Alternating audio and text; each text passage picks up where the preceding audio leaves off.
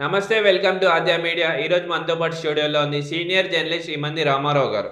నమస్కారం సార్. నమస్తే సార్ అంబటి రాంబాబు గారు ప్రెస్ మీట్ పెట్టి దాంట్లో మా రాష్ట్రంలో ముగ్గురు రాక్షసులు ఉన్నారు. పెద్ద రాక్షసులు చిన్న రాక్షసుడు అండ్ దత్త రాక్షసుడు అని కామెంట్ చేశారు సార్. చంద్రబాబు గారిని లోకేష్ గారిని అండ్ పవన్ కళ్యాణ్ గారిని ఉద్దేశించి.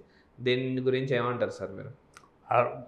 అంబటి రాంబాబు ఆయన మాటలు పట్టించుకున్నాడు ఎవడుంటాడండి?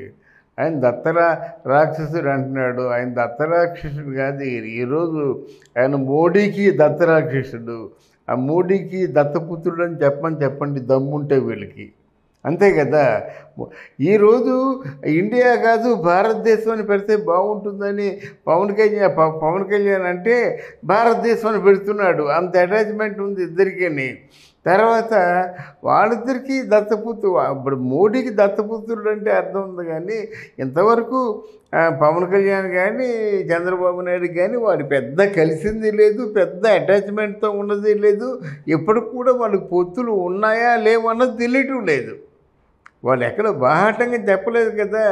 ఈయన బాహాటంగా అనటం లేదు వాళ్ళు బాహాటంగా చెప్పడం లేదు.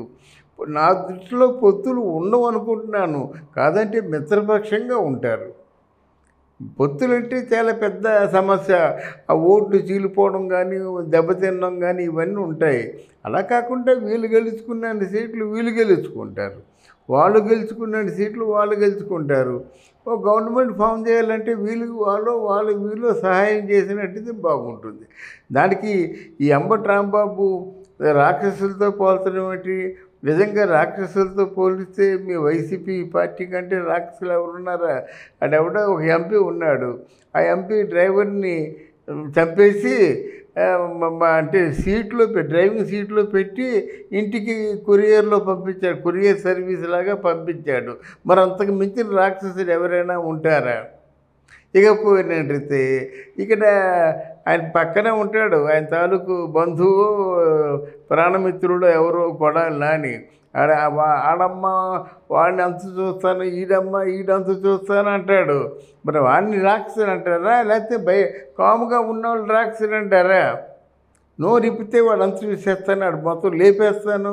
వీడంతా ఈడు ఫోర్ ట్వంటీ గాడు ఈడు పప్పు గాడు ఆడికేదో అని చెప్తున్నట్టయితే మరి ఆయన ఆయన పెద్ద రాక్షసుడు. ఆయన ఆయన గురించి చెప్తే బాగుండేది. ఇక పోయినట్టయితే బోర బోరగడ్డ అనిల్ కుమార్ అని ఉంటాడనమాట ఆయన ఇంటర్వ్యూలో ఏం చెప్తాడు? నేను కత్తి పట్టుకున్నట్టయితే గోదావరి ఎర్రగా పారుతుంది అంటాడు నేను కత్తి పట్టుకున్నట్టయితే కృష్ణానది ఎర్రగా ఉంటుంది అంటాడు నేను ఒక్కసారి చొక్కా మార్చానంటే నలుగురిని లేపేస్తానంటాడు. ఇంట్లోకి వెళ్ళి అమ్మాయిలను కూడా రేపు చేసేస్తానంటాడు. మరి వాడు రాక్షసులా మేము మిగతా వాళ్ళ రాక్షసులా? వాళ్ళు ఆల్రెడీ ప్రూవ్ చేసుకుంటున్నారు. నేను కత్తి పట్టుకుంటే నలుగురిని లేపేస్తానంటాడు. వాడు ప్రూవ్ చేసుకున్నాడు కదా వాడు రాక్షసుడు. వాడు నీ కళ్ళకు కనిపించలేదు. వైసీపీ పార్టీలో ఉన్న వాళ్ళని కళ్ళకు కనిపించరు ఇక్కడ మిగతా వాళ్ళందరూ చంద్రబాబు నాయుడు తాలూకు మంది మార్పులు నీ కళ్ళకు కనిపిస్తాయి అంత హింసాత్మకంగా చంద్రబాబు నాయుడు పాటు పడినట్టయితే ఎప్పుడో ఎంతోమంది లేపేసేవారు వాళ్ళు ఎందుకంటే చంద్రబాబు నాయుడు తాలూకు భార్యను మాట్లాడినప్పుడే ఆయన లెక్క చేయలేదు. ఈ ఆ తనలో తను కుమిలిపోయాడు కానీ నలుగురు రావాలి కదా ఎవరిరా నువ్వు మాట్లాడతావు మా అమ్మ అని చెప్పేసి నలుగురు వచ్చి నలుగురు కార్యకర్తలు కూడా ఎదురు తిరిగి ఎక్కడ చెప్పి ఎక్కడ తలకాయ పెట్టుకుంటారు? అందువలన అది చంద్రబాబు నాయుడికి అది అంత రెచ్చిపోయే గుణం కానీ అంత ఎదురు తిరిగి అంటే హింస అంటే ఫేస్ చేసేటువంటి గుణం గుణంగా ఉంటే ఎప్పుడో బాగుండు. అది లేదు. ఈ అంబటి రాంబాబు కాబట్టి ఊరిక ఏదో చిన్న డ్యాన్స్ చేశారండి బ్రోలోను. దానికోసం ఇంత గొడవ పెట్టేయడమే. ఆ నిజంగా పవన్ కళ్యాణ్ గారి తాలూకు అదృష్టం బాగుండబట్టి ఆ సినిమా బ్రహ్మాండంగా ఆడుతుంది ఇప్పుడు. అసలు ఆ సినిమాలో ఈయన పెద్దగా ఏముండదు సార్. ఆయన చెప్పడానికి ఏం లేదు అసలు.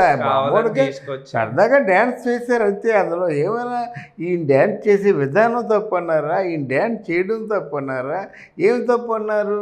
వాళ్ళే ఏరుకోరి అది సెలెక్ట్ చేసుకొని ఇది నాలాగా ఉందని వాళ్ళే మాట్లాడుకున్నారు. అదే ఇంతంత పార్లమెంట్ వరకు వెళ్ళిపోయినారు.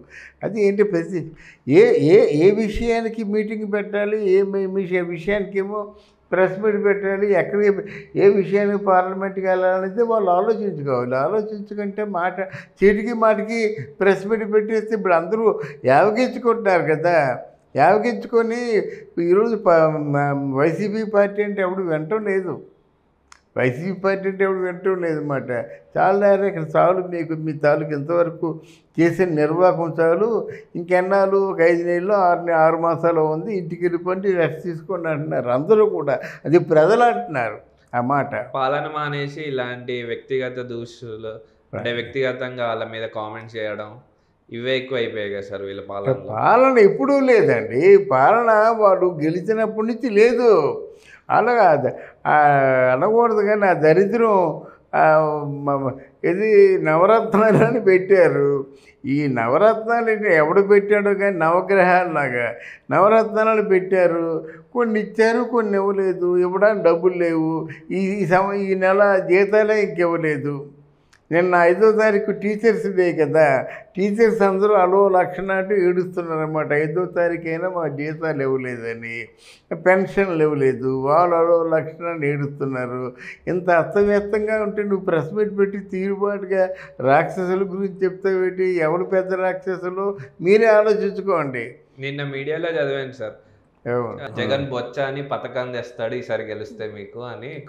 నెక్స్ట్ నెక్స్ట్ పథకాలు ఏమి ఉండవు బస్సు అంతా మందే. మందు వచ్చేసి ఇది మామూలు మందు కాదు ఇది దేవతలు తాగే మందు.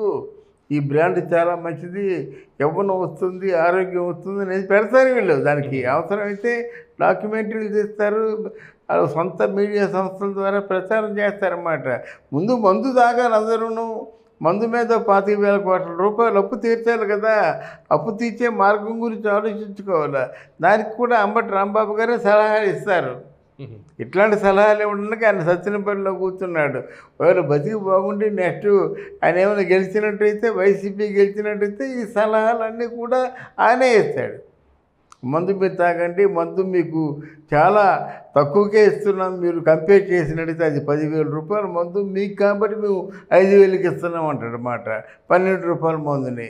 కదండి దోచుకుంటున్నారు? ప్రభుత్వం మా- ప్రజల సొమ్మునంతా ప్రజలు పూర్తిగా డేలా అయిపోతున్నారు కదా అప్పుల పాలు అయిపోతున్నారు కదా బలవంతంగా సాగును కొని తెచ్చుకుంటున్నారు కదా.